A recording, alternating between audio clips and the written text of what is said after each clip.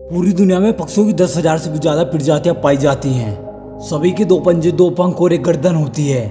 लेकिन इन्हीं में से एक ऐसा पक्षी है, जिसकी एक अलग ही पहचान है, जो आसमान का सीना चीर के हज़ारों मीटर ऊपर 120 किलोमीटर प्रति घंटे की रफ्तार से उड़ता है, जो खुद के कई गुना अधिक वज़न के शिकार को पंजों में दबोच आसमान में उड़ जाता है, जिसे हम बाज के नाम से जानते हैं। और एक बाज इतना बड़ा मुकाम हासिल करता है सिर्फ़ अपनी ट्रेनिंग की वजह से। अगर आप भी इस दुनिया में एक बड़ा मुकाम हासिल करना चाहते हैं तो आपको एक बाज से बाज बनने का सफ़र पूरा जानना बहुत ज़रूरी है।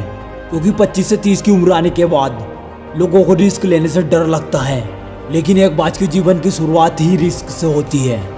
जिस उम्र में बाकी पक्षियों के बच्चे चीज़ें करना सीखते हैं, उस उम्र में मादाबाज अपने बच्चों को पंजों में दबोच कर हज़ारों किलोमीटर ऊपर उड़ जाती है। उसे ये बताने के लिए कि तेरा जन्म आसमान का सीना चीर के सबसे ऊपर उड़ने के लिए हुआ है। तेरा जन्म पक्षियों का बादशाह बनने के लिए हुआ है। इतनी हाई रिस्क ट्रेनिंग होने के बाद इस दुनिया को एक बाज मिलता है। दोस्त, अगर ज़िंदगी में सक्सेस होना है तो ये बाज की पाँच आदत अपना लो।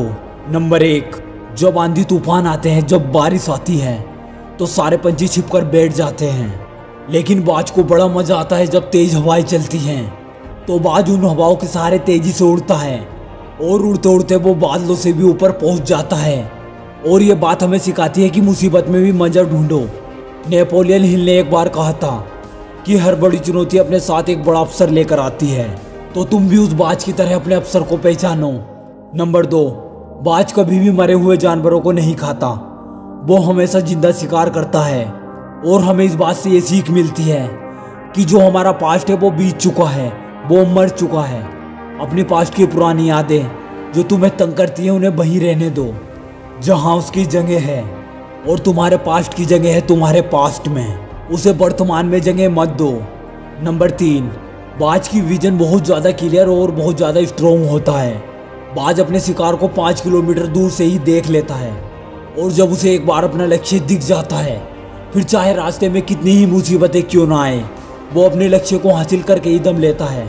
और हमें इस बात से ये सीख मिलती है कि अपना विजन क्लियर रखो।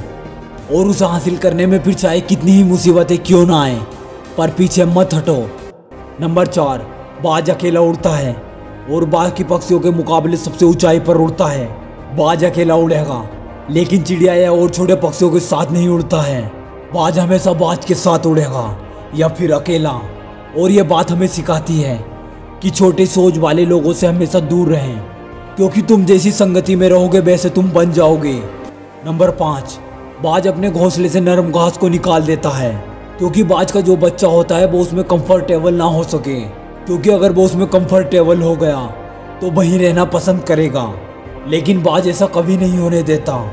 बाज एक पक्षी है, और उसे भी यह बात पता है कि there is no growth in comfort zone लेकिन हम इंसान होने के बावजूद भी कई लोग इस बात को समझते ही नहीं कि आप जितना ज़्यादा कंफर्ट जोन में रहोगे आपकी लाइफ आने वाले टाइम में उतनी ही ज़्यादा अनकंफर्टेबल हो जाएगी।